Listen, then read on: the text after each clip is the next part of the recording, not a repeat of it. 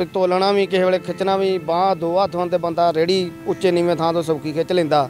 ਤੇ ਹੁਣ ਇੱਕ ਹੱਥ ਦੇ ਨਾਲ ਪੂਰਾ ਜ਼ੋਰ ਲਾ ਕੇ ਖਿੱਚਣੀ ਪੈਂਦੀ, ਕਿਸੇ ਵੇਲੇ ਵੀ ਬਾਹ ਦਰਦ ਵੀ ਕਰਨ ਡੈ ਪੈਂਦੀ ਆ। ਤੇ ਇਸ ਕਰਕੇ ਵੀ ਸਰੀਰ ਕਿਸੇ ਵੇਲੇ ਜ਼ਿਆਦਾ ਪੀੜ ਕਰਦਾ, ਮੁੜ ਕੇ ਅਗਲੇ ਦਿਨ ਨਹੀਂ ਵੀ ਜਾਇਆ ਜਾਂਦਾ ਮੇਰੇ ਕੋਲੋਂ। 4 ਵਜੇ ਉੱਠ ਕੇ ਸਾਢੇ ਕੁ ਚਾਰ, ਚਾਹ ਚੂ ਪਾਣੀ ਪੀ ਕੇ ਆਪਣੇ ਵੀ ਮੈਂ ਮੰਡੀ ਹੀ ਚੱਲ ਜਾਈਦਾ ਵਾ। ਤੇ ਸਬਜ਼ੀ ਲੈ ਆਈਦੀ, ਪਹਿਲਾਂ ਮੈਂ ਜਾਣਾ ਮੰਡੀ ਉਦਾਂ ਤੇ ਇਹਨਾਂ ਨੂੰ ਮੁੜ ਕੇ ਨਾਲ ਆਣ ਕੇ ਘਰੇ ਸਬਜ਼ੀ ਲਿਆ ਕੇ, ਫਿਰ ਇਹਨਾਂ ਨੂੰ ਨਾਲ ਲੈ ਕੇ ਤੇ ਫਿਰ ਗਲੀ ਗਲੀ ਸਾਨੂੰ ਵੇਚਣੀ ਪੈਂਦੀ ਜਾ ਕੇ। ਤੁਸੀਂ ਤਸਵੀਰਾਂ ਵਿੱਚ ਵੇਖ ਰਹੇ ਹੋ, ਇਹ ਜਿਹੜਾ ਕਿ ਪਤੀ ਪਤਨੀ ਨੇ ਇੱਕ ਦੂਜੇ ਦੀ ਮਿਸਾਲ ਦੇ ਰਹੇ ਨੇ, ਮਿਹਨਤ ਕਰ ਰਹੇ ਨੇ ਦੋਵੇਂ ਜੀ, ਜਿਹੜੇ ਕਿ ਇੱਕ ਦਾ ਵੀਰ ਦਾ ਹੱਥ ਜਿਹੜਾ ਕੱਟਿਆ ਗਿਆ ਕਿਸੇ ਹਾਦਸੇ ਕਰਕੇ, ਪਰ ਫਿਰ ਵੀ ਹਿੰਮਤ ਨਹੀਂ ਹਾਰੀ, ਮਿਹਨਤ ਕਰ ਰਹੇ ਨੇ ਦੋਵੇਂ ਜੀ, ਭੈਣ ਨੂੰ ਵੀ ਜਿਹੜਾ ਕਿ ਪੋਲੀਓ ਆ।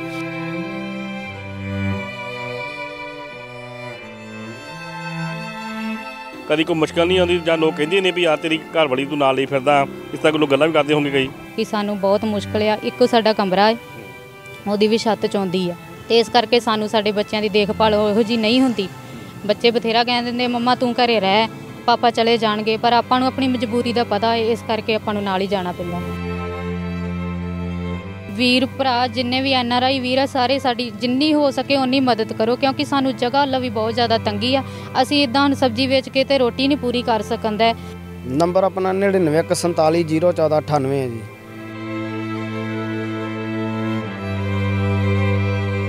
ਸਤਿ ਸ਼੍ਰੀ ਅਕਾਲ ਦੋਸਤੋ, ਮੈਂ ਹਾਂ ਤੁਹਾਡਾ ਦੋਸਤ ਹਰਜੀਤ ਗਰੇਵਾਲ।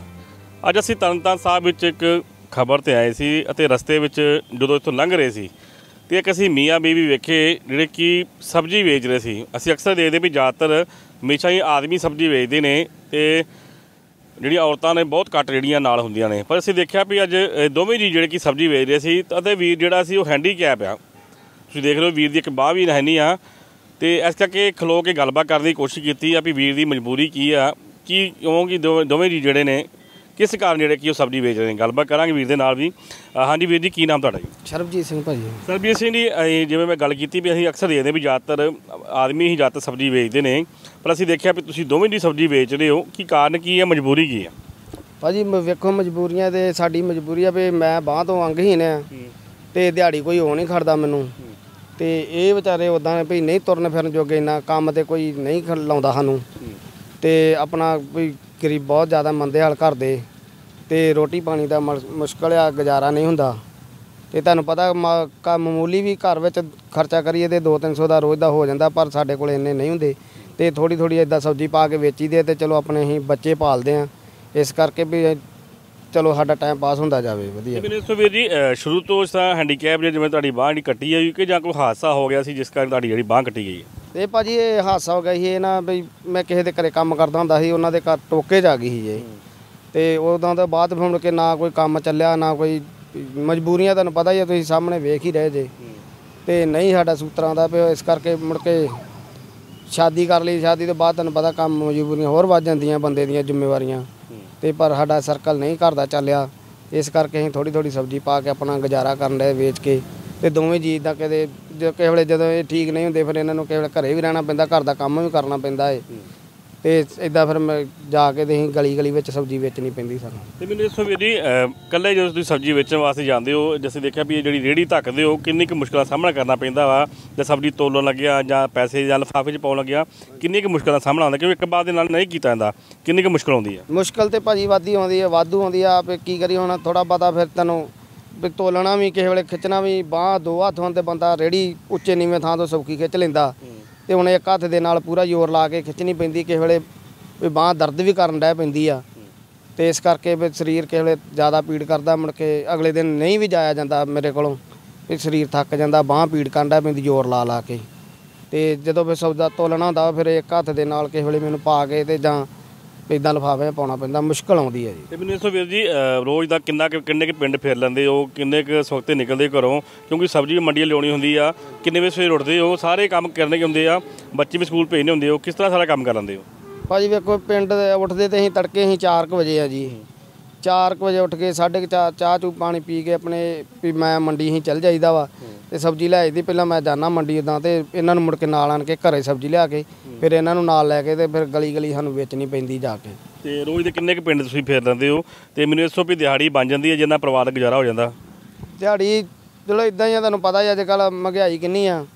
ਵੀ ਕਿਸੇ ਵੇਲੇ 200 300 ਕਿਸੇ ਵੇਲੇ ਇੰਨਾ ਕੁ ਬਣ ਜਾਂਦਾ ਤੇ ਤਾਂ ਇੰਨਾ ਕੁ ਤੁਹਾਨੂੰ ਪਤਾ ਘਰ ਦਾ ਖਰਚਾ ਬੱਚਿਆਂ ਦੇ ਕੱਪੜੇ ਆਪਣੇ ਕੱਪੜੇ ਜਾਂ ਇਹਨਾਂ ਦੇ ਕੱਪੜੇ ਕੋਈ ਵੀ ਲਾ ਲਓ ਵੀ ਮਹਿੰਗਾਈ ਆ, ਦੁੱਧ ਜੋ ਵੀ ਲਿਆਉਣਾ ਹੋਵੇ ਤੇ ਮੁਸ਼ਕਲ ਆ ਜਾਂਦੀ ਉਹਦੇ ਵਿੱਚ ਖਰਚਾ ਇੰਨਾ ਕੀ ਬਚਦਾ ਤੇ ਕੋਈ ਸਬਜ਼ੀ ਕਿਸੇ ਵੇਲੇ ਖਰਾਬ ਵੀ ਹੁੰਦੀ ਆ, ਕਿਸੇ ਵੇਲੇ ਪਈ ਵੀ ਰਹਿ ਜਾਂਦੀ, ਨਹੀਂ ਵੀ ਵਿਕਦੀ ਕਿਸੇ ਵੇਲੇ ਪੂਰੀ। ਬਿਲਕੁਲ ਜੀ। ਤੁਸੀਂ ਤਸਵੀਰਾਂ ਵਿੱਚ ਵੇਖ ਰਹੇ ਹੋ, ਇਹ ਜਿਹੜਾ ਕਿ ਪਤੀ ਪਤਨੀ ਨੇ ਇੱਕ ਦੂਜੇ ਦੀ ਮਿਸਾਲ ਦੇ ਰਹੇ ਨੇ, ਮਿਹਨਤ ਕਰ ਰਹੇ ਨੇ ਦੋਵੇਂ ਜੀ, ਜਿਹੜੇ ਕਿ ਇੱਕ ਦਾ ਵੀਰ ਦਾ ਹੱਥ ਜਿਹੜਾ ਕੱਟਿਆ ਗਿਆ ਕਿਸੇ ਹਾਦਸੇ ਕਰਕੇ, ਪਰ ਫਿਰ ਵੀ ਹਿੰਮਤ ਨਹੀਂ ਹਾਰੀ। ਮਿਹਨਤ ਕਰ ਰਹੇ ਨੇ ਦੋਵੇਂ ਜੀ, ਭੈਣ ਨੂੰ ਵੀ ਜਿਹੜਾ ਕਿ ਪੋਲੀਓ ਆ, ਫਿਰ ਵੀ ਇਸ ਜੀਵਨ ਸਾਥੀ ਨੇ ਜਿਹੜਾ ਕਿ ਉਸ ਦੀ ਮਦਦ ਕਰ ਰਹੀ ਆ।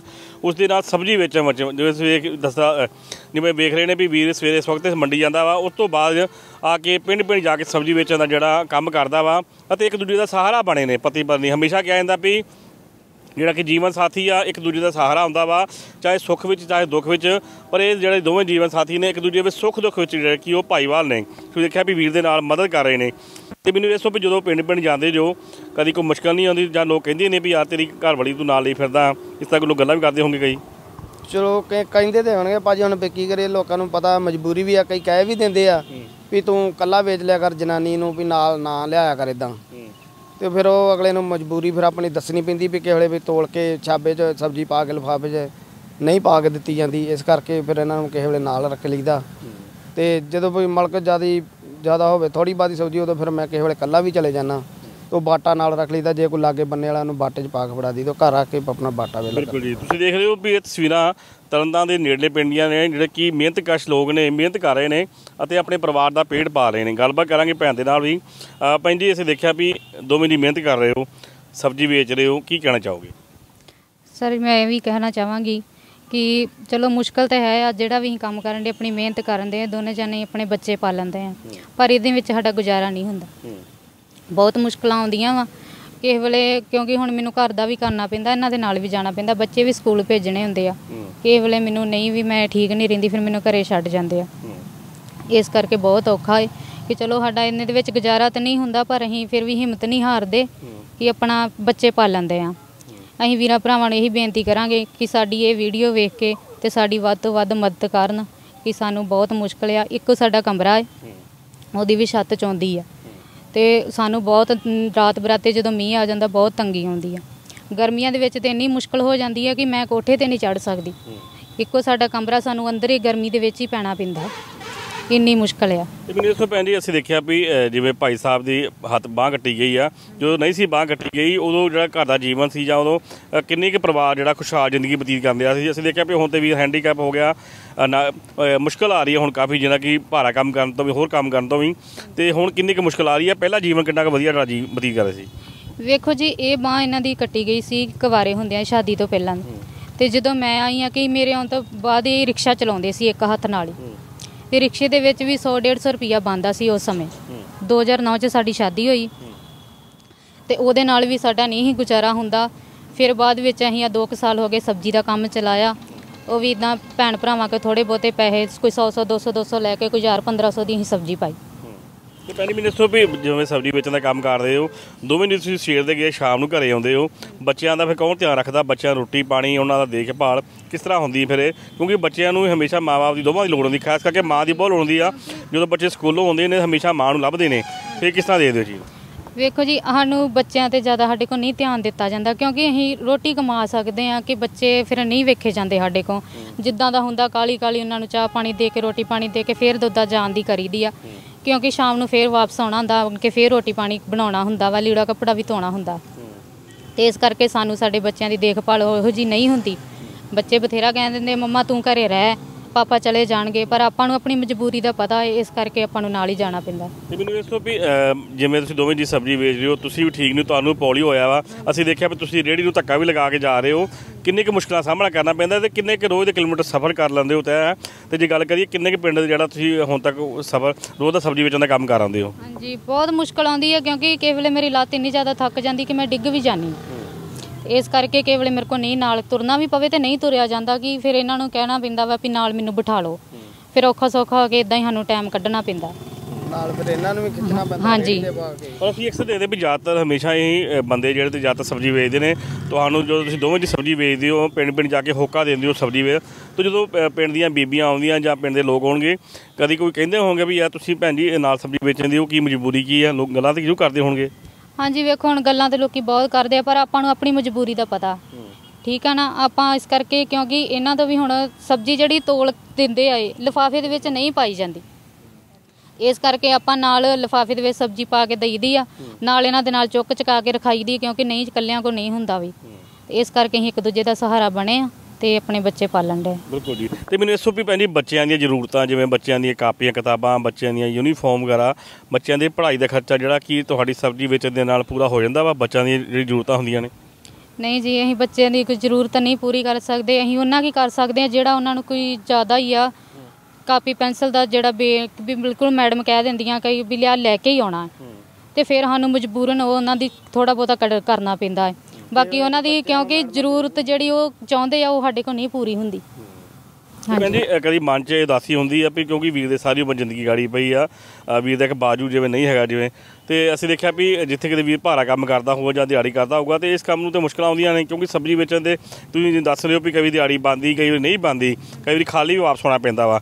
ਤੇ ਕਿੰਨੀ ਕੁ ਮੁਸ਼ਕਲਾਂ ਦਾ ਸਾਹਮਣਾ ਕਰਨਾ ਪੈਂਦਾ ਜੀ ਬਹੁਤ ਮੁਸ਼ਕਲ ਆ, ਇਸੇ ਕਰਕੇ ਤੇ ਕਿਉਂਕਿ ਤੁਹਾਨੂੰ ਦੱਸਣ ਦੇ ਕਿ ਬਹੁਤ ਜ਼ਿਆਦਾ ਹੀ ਤੰਗੀ ਆ, ਇਸ ਕਰਕੇ ਆਪਾਂ ਇਹ ਕਦਮ ਚੁੱਕਿਆ ਕਿ ਅਸੀਂ ਵੀਡੀਓ ਬਣਾ ਕੇ ਪਾਈ ਆ ਕਿ ਸਾਡੀ ਵੀਰ, ਭਰਾ, ਜਿੰਨੇ ਵੀ ਐਨ ਆਰ ਆਈ ਵੀਰ ਆ, ਸਾਰੇ ਸਾਡੀ ਜਿੰਨੀ ਹੋ ਸਕੇ ਉਨੀ ਮਦਦ ਕਰੋ, ਕਿਉਂਕਿ ਸਾਨੂੰ ਜਗ੍ਹਾ ਵੱਲੋਂ ਵੀ ਬਹੁਤ ਜ਼ਿਆਦਾ ਤੰਗੀ ਆ।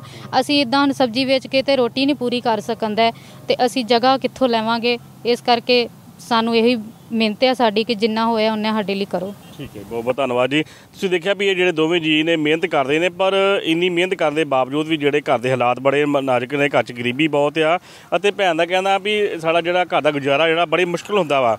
ਉਹਨੇ ਕਿਹਾ ਵੀ ਸਬਜ਼ੀ ਵੇਚਣ ਦੇ ਨਾਲ ਮਹਾ ਰੋਜੀ ਰੋਟੀ ਚੱਲਦੀ ਆ, ਬੱਚਿਆਂ ਦੀਆਂ ਲੋੜਾਂ, ਬੱਚਿਆਂ ਦੀਆਂ ਜ਼ਰੂਰਤਾਂ ਜਿਹੜੀਆਂ ਨਹੀਂ ਪੂਰੀਆਂ ਹੁੰਦੀਆਂ, ਬੜੀ ਮੁਸ਼ਕਲ ਆਉਂਦੀ ਆ। ਇਸ ਕਰਕੇ ਉਹਨਾਂ ਕਿਹਾ ਵੀ ਸਾਡੀ ਜਿਹੜੀ ਮਦਦ ਕੀਤੀ ਜਾਵੇ, ਐਨ ਆਰ ਆਈ ਵੀ ਨੇ, ਸਮਾਜ ਸੇਵੀ ਸੰਸਥਾ ਨੇ ਅੱਗੇ ਆਉਣ, ਤਾਂ ਜੋ ਕਿ ਇਹਨਾਂ ਦੇ ਜਿਹੜਾ ਬੱਚੇ ਨੇ, ਜਿਹੜੇ ਭਵਿੱਖ ਵਿੱਚ ਚੰਗੀ ਪੜ੍ਹਾਈ ਹੋ ਸਕੇ, ਚੰਗੇ ਜਿਹੜੇ ਬੱਚਿਆਂ ਨੂੰ ਕਿਤਾਬਾਂ ਕਿਤਾਬਾਂ ਪੈਨਸ਼ਨਾਂ ਤੇ ਜਾਂ ਹੋਰ ਯੂਨੀਫਾਰਮ ਵਗੈਰਾ ਨਹੀਂ ਮਿਲ ਸਕੇ। ਵੀਰ ਜੀ ਬੱਚੇ ਫਿਰ ਕਿੰਨੀ ਕੁ ਜ਼ਰੂਰ ਜਿ- ਜ਼ਿਆਦਾ ਕਰਦੇ ਨੇ? ਅਸੀਂ ਦੇਖਿਆ ਬੱਚੇ ਹਮੇਸ਼ਾ ਚੀਜ਼ਾਂ ਮੰਗਦੇ ਨੇ ਪੈਸੇ ਕਿੰਨੇ ਕੁ ਮੰਗ ਕਰਦੇ ਨੇ ਚੀਜ਼ ਨੂੰ ਲੈ ਕੇ? ਬੱਚੇ ਤਾਂ ਵੇਖੋ ਜੀ ਜਿੱਦਾਂ ਕਰਦੇ ਆ ਭਾਜੀ ਤੁਹਾਨੂੰ ਸਾਰਾ ਪਤਾ ਏ।